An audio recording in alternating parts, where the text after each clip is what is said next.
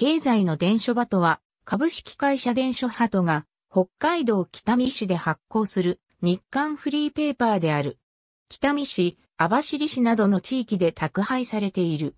日本 ABC 協会加盟。本市が定着している北見市北海道オホーツク地方の西5町で83,984世帯にポスティングされている。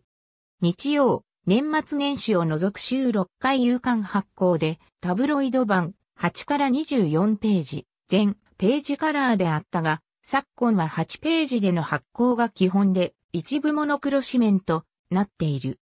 配布地域内のニュース、天気、投稿欄、テレビ欄、お悔やみ欄と広告を掲載しており、分量の多い広告を除けば、地方紙の一般紙と変わらない。発行者で折り込み広告も行っており、広告媒体としての定着化に一般ニュースの存在が寄与していると同時に、ローカル紙の安定経営、高普及のビジネスモデルを確立している。印刷は北見市内の株式会社小林印刷が行う。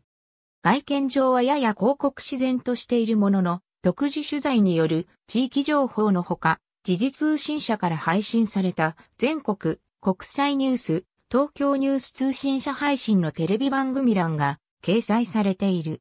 顔写真入り志望広告も同誌の特徴の一つでもある。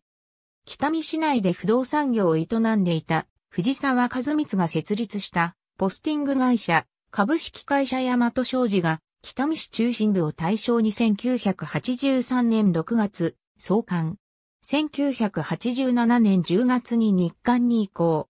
1988年以降、北見市の周辺自治体や網走市に配布エリアを順次拡大し、1991年に称号も株式会社電書バトに変更した。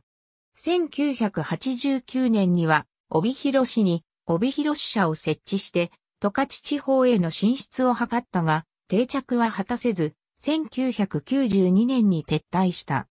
2005年に旧所町、2006年に旧東本村のそれぞれ一部地域に配布を開始した。2020年8月1日より、網走市及び桶戸町の配布日を木曜日と金曜日の2日間だけに大幅に縮小。かつ、網走市では予備都地区に追和地区の配布を取りやめ、さらに大空町東本地区も配布を休止した。2021年4月以降当分の間、経費削減のため、すべての配布エリアで土曜日の配布を行っていない。宅配エリア、経済の伝書バト、2012年2月5日閲覧。フリーペーパー発行社会員一覧。日本 ABC 協会。2012年2月5日閲覧。経済の伝書バト紙面について。経済の伝書バト。2012年2月5日閲覧。ABC 遠隔。経済の伝書バト。2012年2月5日閲覧。